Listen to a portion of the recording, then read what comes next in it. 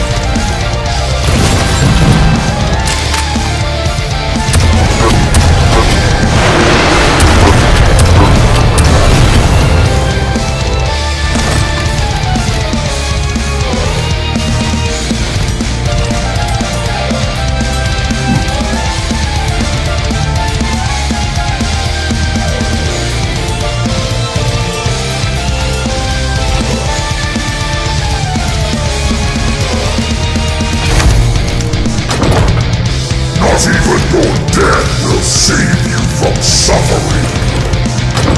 Not even your death will save you from suffering.